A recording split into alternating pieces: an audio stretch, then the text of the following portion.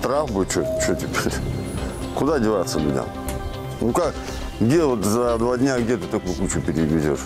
Проверка частного сектора. Как в Канском районе борются с захламлением придомовых территорий. Я поздравляю всех вас с первым сборником.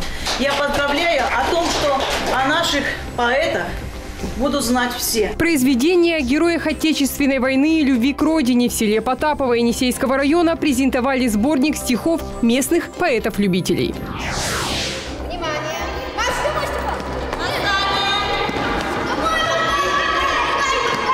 Челночный бег и заплыв в бассейне. Юные лесосибирцы сдали нормы ГТО.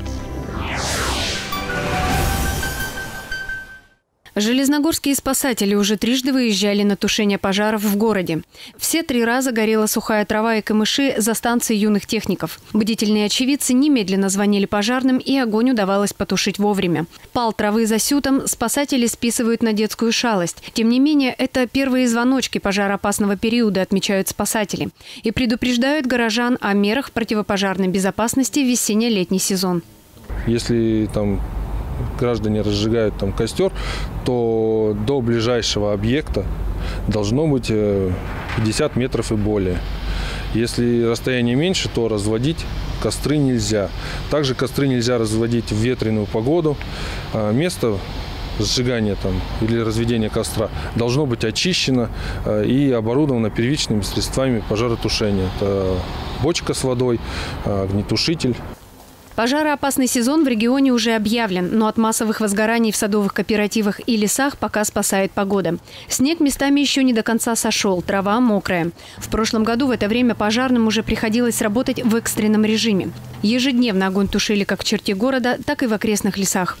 В прошлом году было зарегистрировано 13 лесных пожаров на территории зато Железногорск. В этом году лесных пожаров еще не было. А, В прошлом году на тушение сухой травы подразделения МЧС выезжали а, 180 раз. Площадь горения составила более 30 тысяч квадратных метров. В пожарной части отметили, чтобы не допустить возгораний в садах, сотрудники Госпошнадзора проведут профилактические беседы с владельцами участков. А с приходом теплой погоды работники горлесхоза совместно с полицией проинспектируют места отдыха горожан. В Канскиканском районе продолжается борьба с отходами лесопиления. Но если раньше эта неравная битва шла на полях, то теперь переместилась и на улицы жилых секторов. Вместо привычных дров в качестве топлива для своих печей люди буквально завалили свои придомовые территории горбылем и убирать его не торопятся. Одной из наиболее проблемных зон сейчас, например, является село Польное. Проблема отходов лесопиления видна в польном невооруженным взглядом. Почти на каждой улице можно встретить одну, две, три и более куч горбыля чуть ли не у каждого дома. И, как говорят участковые, после последнего рейда ситуация еще улучшилась. Люди начали постепенно убирать отходы лесопиления своих придворовых территорий. Но до кардинального улучшения ситуации еще, конечно, очень и очень далеко. Чуть больше недели назад участковый совместно с представителями Филимоновского сельсовета составил в отношении сельчан 8 административных протоколов. На кого-то это подействовало, но вот владельцы этой кучи очистить территорию то ли не смогли, то ли не захотели. Любовь к отходам лесопиления в этих местах объясняется просто. Если за дрова в привычном их понимании нужно платить и платить по сельским меркам немало, то горбыль привозят бесплатно. Колоть ничего не нужно, просто пилишь и складываешь. Ему звонишь, надо дрова, он припел. Бесплатно. Просто так. Штраф так штраф будет, что теперь? Куда деваться людям? Ну как, где вот за два дня, где ты такую кучу перевезешь? Ну, он же раньше вроде говорил, ну там время вроде было. Все, все, все равно не успевается, да? Ну, конечно, нет. У людей по 8, по 9 машин вывалено, по 15 машин. Впрочем, не лучше ситуация и в Канске. На отдельных улицах кучи древесных отходов лежат чуть ли не у каждого дома. Убирать их граждане, конечно, пытаются, но работа эта идет намного медленнее, чем происходит захламление территории. Больше всего такая ситуация пугает представителей пожарного ведомства. В период надвигающегося пожароопасного сезона вероятность возгорания данных отходов на придомовых территориях крайне велика, а последствия могут быть просто огромными. Оно очень интенсивно горит с выделением э, очень высокой температуры и дает огромную скорость распространения горения по улицам. Пример тому э, улица Тихая, 24 мая.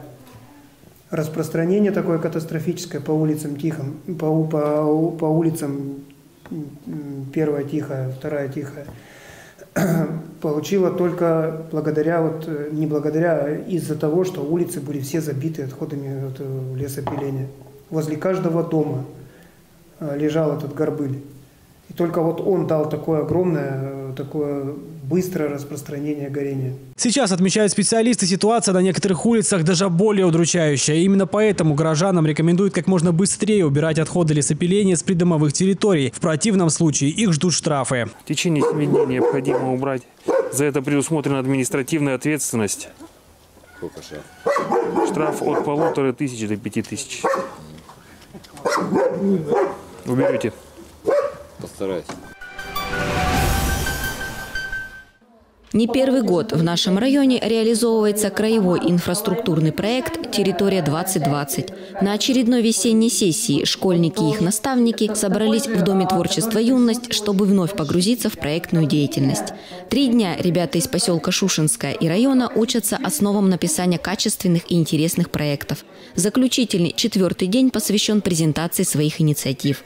Участники весенней сессии интенсивной школы предложили более 30 проектов. Теперь решают, какие задумки подростков нужно поддержать. Очень часто встречаются проекты, направленные на благоустройство э, территории своей. И это не только субботники по, чисто, по э, организации чи чистоты там, берегов, э, улиц. Это скорее уже более серьезные взрослые запросы.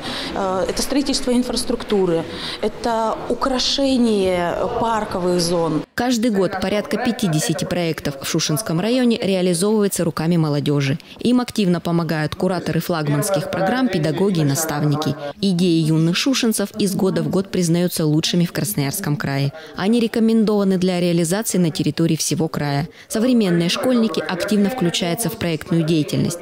Многие из них участвуют в форуме уже не первый год проектирование вообще в принципе помогает мне планировать свою жизнь. То есть э, все, весь этот, вся цель, план э, реализации. То есть я могу теперь ставить свои собственные цели и идти правильно пошагово к ним. То есть э, сама проектировочная деятельность – это очень хороший способ, э, чтобы себя самоорганизовать. А вообще проектная деятельность э, я занимаюсь ей, потому что хочу помочь э, другим, быть полезной для других и вообще самореализоваться. Финансирование проектов победителей будет осуществляться за счет краевого бюджета 170 тысяч рублей и 100 тысяч рублей – деньги из районного бюджета. В этом году одобрение экспертного совета получили 29 идей.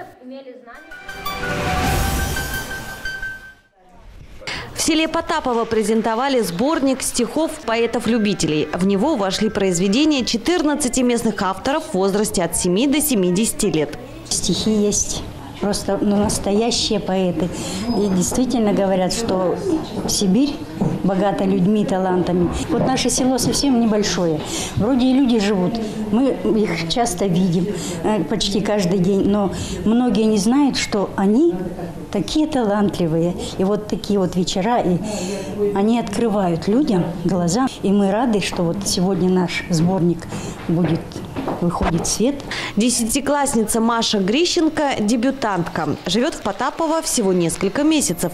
Она посвятила свое стихотворение любви к селу, уже ставшему родному. Лес, синева и поля вдалеке.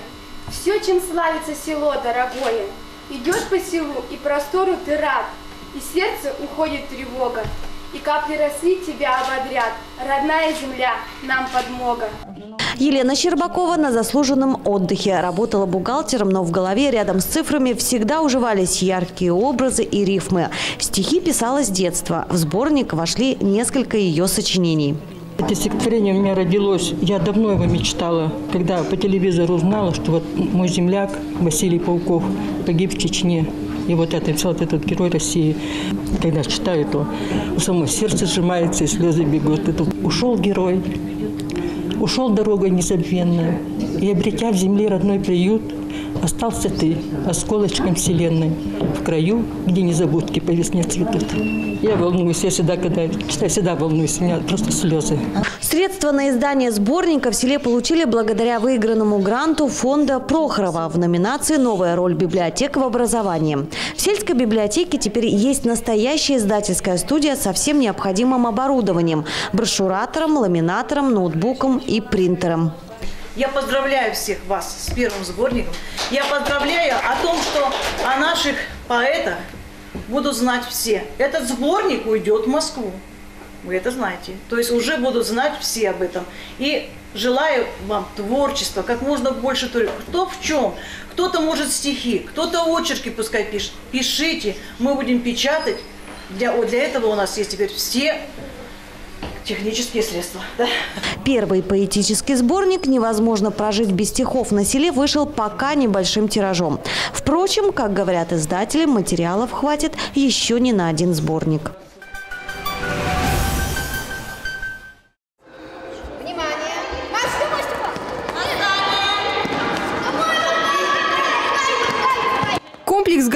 Труду и обороне» прочно входит в жизнь Лесосибирска. В это спортивное движение вливается все больше горожан разных возрастов. Свои первые тесты комплекса ГТО выполнили самые юные ребята от 6 до 8 лет. И вот первые задания – метание мяча, бег на 30 метров и сгибание туловища. Давай, давай, давай, давай, давай, давай, давай, давай. Давай, Андрюха, еще, еще, еще, еще. Но чтобы получить знак отличия комплекса ГТО, ребятам предстояло выполнить еще четыре теста в манеже и плавании. Причем это лишь первая попытка. Возможность улучшить свой результат есть у каждого участника. Если с первого раза не получилось выполнить тесты ГТО в мае или в июне, у них еще будет возможность две попытки потренироваться и подготовиться и еще раз выполнить. Комплекс «Готов к труду и обороне» – это не только вклад в здоровый образ жизни, но и праздник для целых семей. Родители приходят поддержать своих детей в стремлении к высокой цели. Я сама не волнуюсь, надеюсь, что Марат тоже не волнуется. Он отнесся, отнесся очень ответственно к этому мероприятию. Дома маленько тренировался. Мне важно участие, его стремление заниматься спортом. Для него очень важно. Он, конечно, хочет получить высшую медаль. Ну, посмотрим. Сдать нормы ГТО может любой желающий в центре тестирования на стадионе «Труд». Специалисты помогут пройти регистрацию, дадут все рекомендации и примут выполнение нормативов.